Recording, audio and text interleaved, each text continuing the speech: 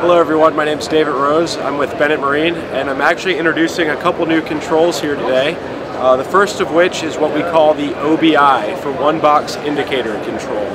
This control is going to combine several features that we've already had in the marketplace today into one really nice and easy to install unit.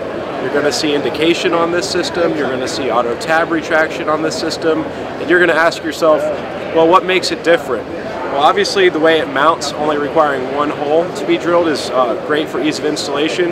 Deutsch waterproof connectors is also a huge benefit, but really what makes a difference is these all up and all down buttons. These buttons allow for someone to deflect or retract their trim tabs with one simple push of a button. So they're no longer holding the buttons for longer periods of time, and they can focus on what they're actually doing in regards to steering and handling the boat. We're pretty excited about this because we're offering it both on the electric and the hydraulic side. So um, it doesn't matter what your preference is or what kind of system you have on your boat, you'll be able to use this control.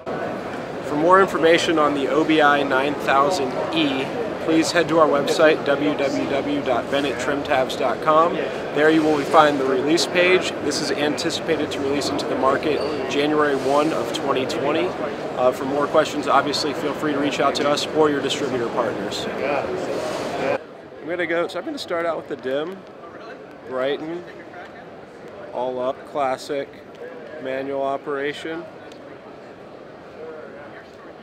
and then kind of Showcase that. Showcase those.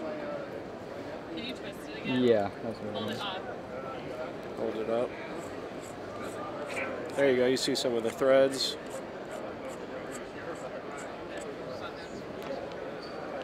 Just kind of like put your hand near it, like. Like a child. There we go. Oh, I, I throw them all over the place. We have a blast.